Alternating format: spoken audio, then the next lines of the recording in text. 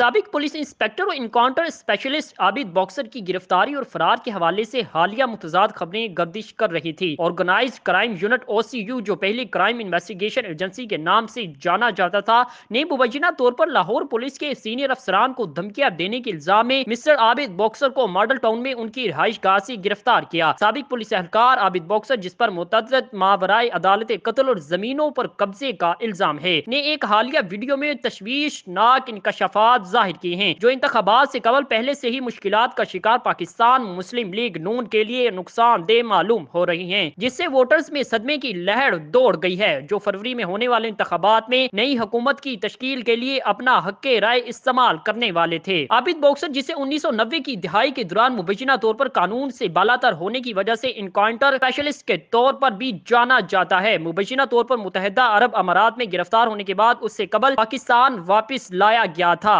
चौंका देने वाले बयान में सबक पुलिस इंस्पेक्टर ने इल्ज़ाम लगाया कि मुस्लिम लीग नून के सदर शहबाज शरीफ छेड़छाड़ के ज़रिए जमीनों पर कब्जे में मुलविस हैं। कत्ल के मुकदमात में मुलविस होने की वजूहत बताते हुए आबिद बॉक्सर ने इंकशाफ किया कि सबक वजी अजम ने अपने चाचा की मलकियत ज़मीन खरीदना चाहते थे, लेकिन अपनी मर्ज़ी की कीमत पर। डील करने में नाकाम होने के बाद सबक पुलिस एहलकार ने कहा कि इससे उसके चचा ज़फ़र अब्बास को एक शख्स को धमकियाँ देने के जाली मुकदमे में नामजद किया गया था। उन्होंने दावा किया कि अब्बास अपने खानदान के साथ बाद में इस वक्त के वज़ीर अला का दबाव बर्दाश्त न कर सके और बैरून मुल्क चले गए। जाली पुलिस मुकाबलों में अपने मुलवस होने की तरदीद करते हुए आबिद बॉक्सर ने ज़ोर देकर कहा की इन्हें झूठे मुकदमात में फंसाया गया है और बादशाह सबक वज़ीर आज़म और उनके बेटे हमजा शहबाज की इजाज़त आरोप गिरफ़्तार किया गया है। उन्होंने कहा की मुझे जाली मुकाबले में मारने की साजिश भी की गई है, लेकिन वो महफूज है क्यूँकी सबक सदर परवेज मुशरफ ने मुल्क में इमरजेंसी का ऐलान किया था जब उन पर हमला किया गया था। उन्होंने दावा किया कि जब शहबाज 2008 में इकतदार में आए तो उन्होंने मुझे दोबारा हिरासा करना शुरू किया और मुझे अपने खानदान को अकेला छोड़कर बैरून मुल्क जाना पड़ा। लाहौर हाईकोर्ट ने मुतल हुकाम को मतलूब मुजरिम आबिद बॉक्सर को अदालत में पेश करने का हुक्म जारी कर दिया है।